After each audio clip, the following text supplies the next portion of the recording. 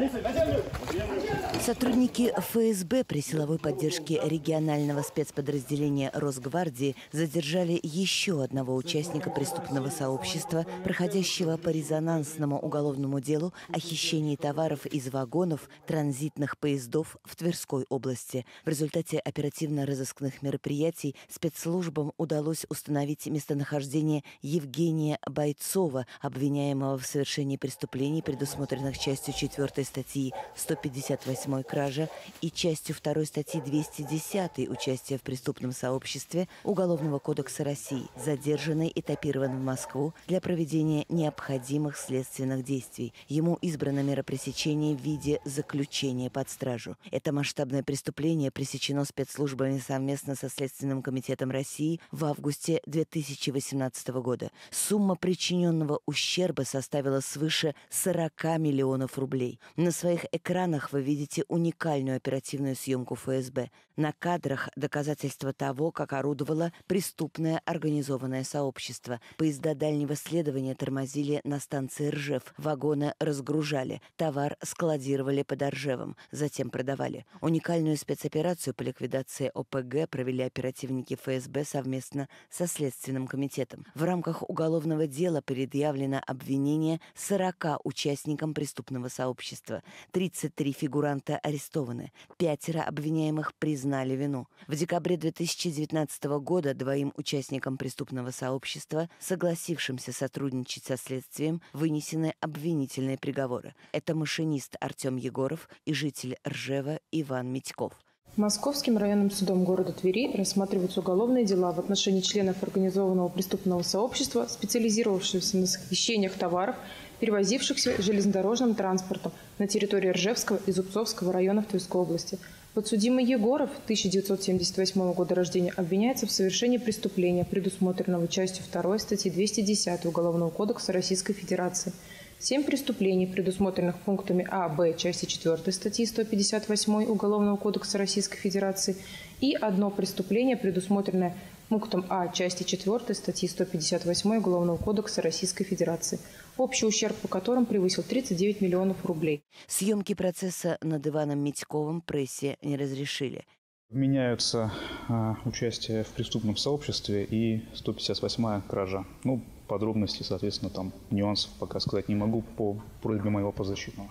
Попросил, чтобы заседание проходило по его просьбе в закрытом режиме, это в целях его безопасности. Поэтому, соответственно, просил, что а, передать сам он, в общем-то, не изъявил желания дать какие-то комментарии. Собственно говоря, по его просьбе я также дополнительно вам ничего сообщить не могу. Подсудимый Митьков, 1983 года рождения, обвиняется в совершении преступления, предусмотренного частью 2 статьи 210 Уголовного кодекса Российской Федерации и 9 преступлений, предусмотренных пунктами А, Б части 4 статьи 158 Уголовного кодекса Российской Федерации, общий, общий ущерб по которым превысил 52 миллиона рублей. В состав преступного сообщества входило более 40 человек. Егоров и Митьков заключили досудебное соглашение о сотрудничестве – в связи с чем уголовные дела в отношении их рассматриваются отдельно в особом порядке по представлениям прокурора. Оба судебных заседания проходили в закрытом режиме. И вот вердикт суда. Подсудимый Егоров признан виновным, и ему назначено наказание 3 года 8 месяцев в колонии общего режима. Приговором суда Митькову назначено 4 года колонии общего режима. По данным следствия, в 2018 году теперь уже осужденные вместе с другими участниками преступного сообщества внепланово останавливали товарные поезда, идущие через Ржев, вскрывали контейнеры и похищали из них бытовую технику и другие товары. В последующем груз реализовывался через подконтрольные фирмы. В преступную группу входили работники Октябрьской железной дороги, в том числе руководители руководители диспетчерского центра управления перевозками, локомотивная бригада и охрана поезда. В ходе кропотливой работы спецслужб и следователей перекрыты каналы сбыта похищенного, обнаружены склады с еще не проданным товаром. Деньги, полученные преступным путем, изъяты, а на активы членов ОПГ наложен арест. На вопрос, не слишком ли мягок приговор Егорову и Митькову, поясним – Оба сотрудничали со следствием. Поэтому рассмотрение дела в суде проходило в особом порядке, и при назначении наказания была учтена помощь следствию.